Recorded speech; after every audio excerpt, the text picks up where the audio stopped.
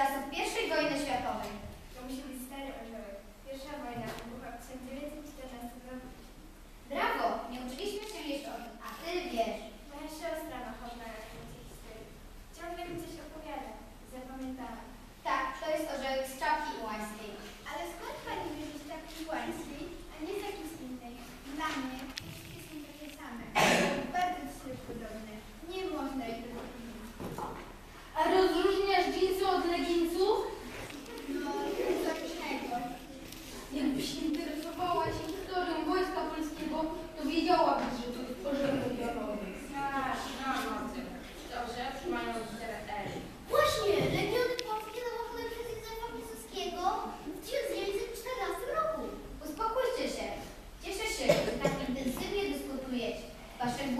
świadczą o tym, że interesujecie się przeszłością swojej ojczyzny, a to z kolei przyczynia się do rozbudzania tożsamości narodowej, wartości powoli zapominanych. Co to jest ta tożsamość narodowa? Tożsamość narodowa to świadomość własnego pochodzenia, znajomość i rozumienie własnej historii. Wyrazem tożsamości jest patriotyzm, którego definicji nie muszę Wam podawać, bo rozmawialiśmy na temat patriotyzmu w zeszłym tygodniu. Dzisiaj na lekcji rozpoczniemy przykry dział dla naszej historii, rozwiązany z wojną. I będziemy rozmawiać na temat Wielkiej Wojny? I znowu mnie zaskoczyliście. Kiedyś, zanim wybuchła II wojna światowa,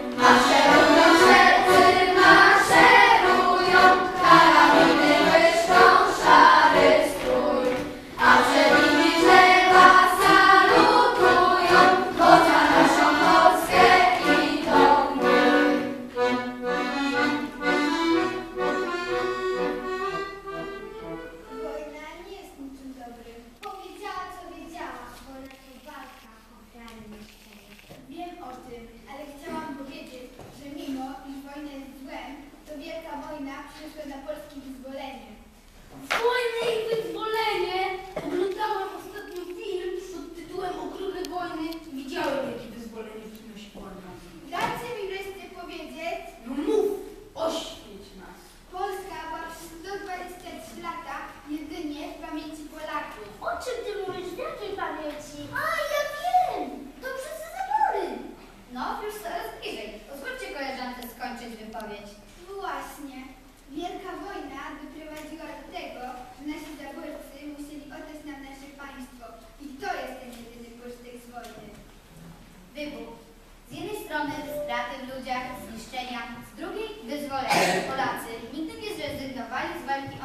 jego swojej ojczyźnie.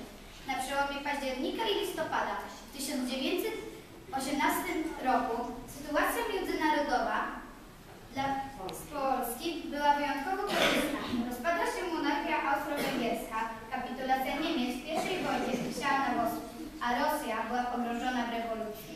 Danej szansy przez tę sytuację Polacy nie zmarnowali.